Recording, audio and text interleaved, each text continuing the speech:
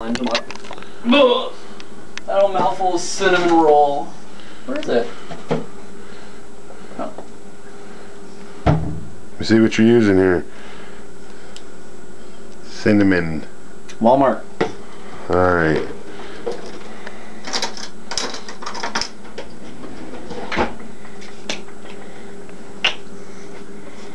I love cinnamon.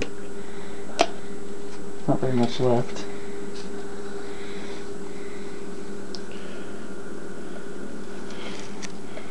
It out here so we can see. I'm doing just a little bit because I just want a little taste of what's going on. I know it's supposed to be a big heaping spoonful. No, I. Oh no, here, just try that much. Uh,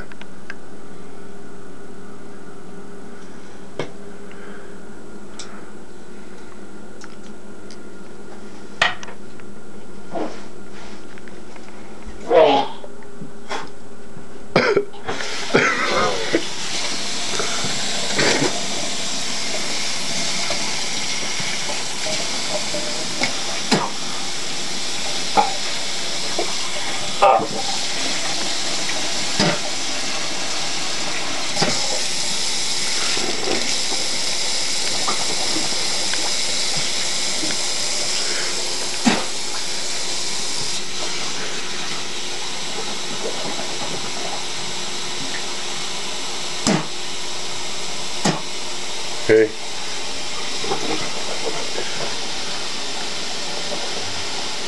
So can you tell me what happened?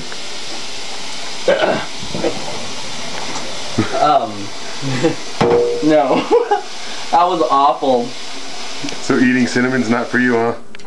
A big spoonful like that? Oh my god, I did not. Ex- Ah. Ugh.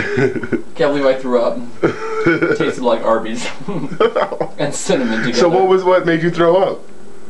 I don't I don't even know. It's like it goes into your mouth and you don't taste cinnamon. You don't taste cinnamon. It's just like this like sandy like it sucks all the saliva out of your mouth and your mouth is just dry all of a sudden it's just, just like then it starts to taste like sand. Mm-hmm. And then like when you start throwing it up and getting it out getting out of your mouth and it's like it's stuck in all these crevices and you can still taste it and it's like big dry chunks are still breaking off and oh my god Okay, well say farewell.